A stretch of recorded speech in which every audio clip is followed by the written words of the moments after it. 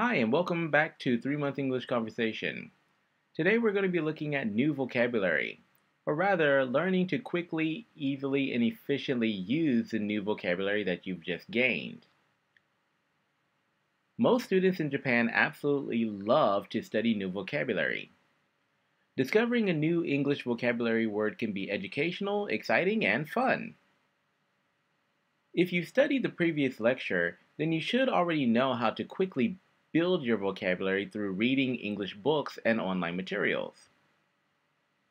However, just knowing a lot of vocabulary and being able to hear or listen to a lot of English words does not necessarily mean that you will be able to quickly or effectively use these new words during actual conversation.